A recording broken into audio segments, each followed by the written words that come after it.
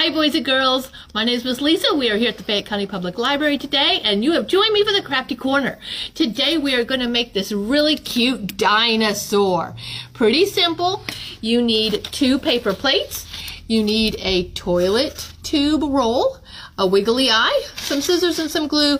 Now, you can color your paper plate with crayon like I did, or you can paint it, or you can use markers or colored pencils, however you want it. You could even buy colored paper plates and make it. That would be real simple.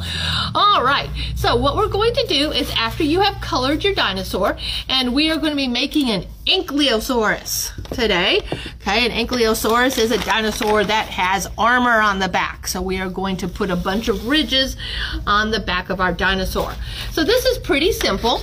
Um, the first thing that we need to do is just fold your paper plate in half once you've colored it. Okay, and you are going to want to use white glue, not the glue stick, because this is pretty heavy. You are going to want to glue it down. Now don't glue like the, the, the edge, because we're going to need to be able to slip in um, the armor for this dinosaur, plus his head and his tail.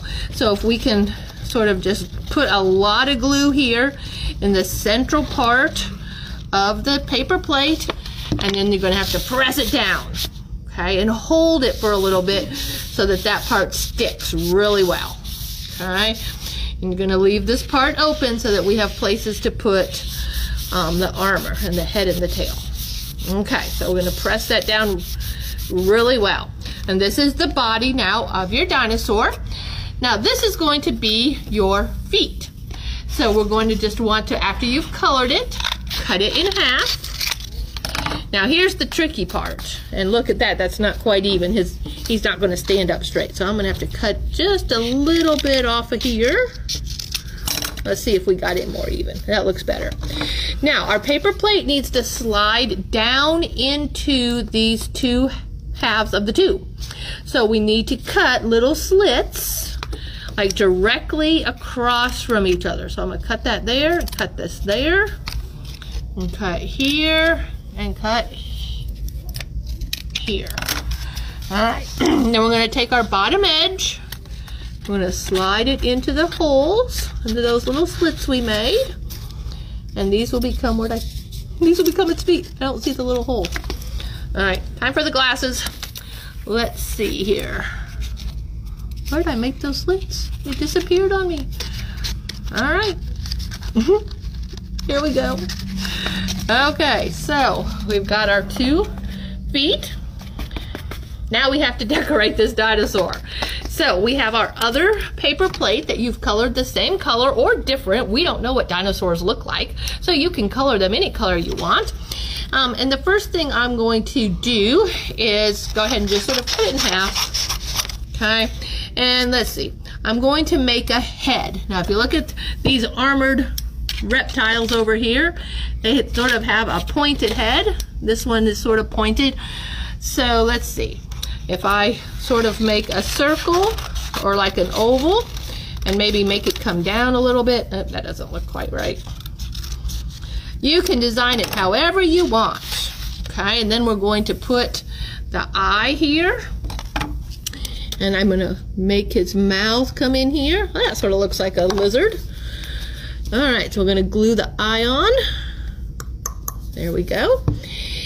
All right, now we gotta decide which part of his, where his head's gonna go. And remember, we didn't glue this totally together, so it should come apart for us a little bit. And we can stick his head in there. Probably need a little bit more glue on it so that we can then slide him in. There we go. All right, now he needs armor. So we're going to want to make some triangles. So I'm just going to cut out some triangles. And it doesn't matter if they're big or small, whatever size, if they're wide or skinny. We're just gonna want some triangles. Now, if you notice, there's triangles here too. So look, I can just cut across the bottom and get some more triangles. Pretty cool. All right, so this is probably enough triangles. You may want to color both sides of your triangle so the back side is, aren't white.